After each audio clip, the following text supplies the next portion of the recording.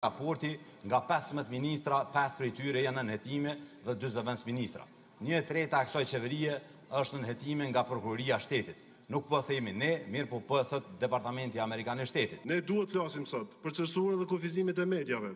Raporti thotë, Autoritetet kufizuan lirinë e shprehjes dhe aksesin e informacionit në mënyrë të drejtë, duke censuruar mediat, bllokuar faqet e internetit, duke kufizuar qasjen në informacion.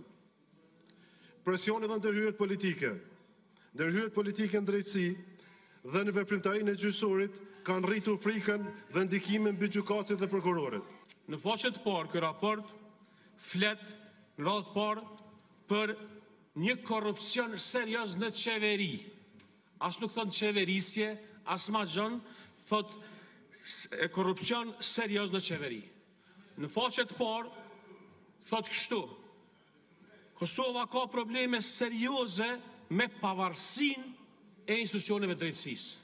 Do të thotë raporti ka gjetje shumë interesante që ia vlen dhe të bëhen krahasime me ato raporte që janë publikuar, siç e thashë më herët dhe aty mund të vrehet progresi ose dështimi. Jo mbi vënien e fokusit te një paragraf, një deklaratë ose një emër që mendohet.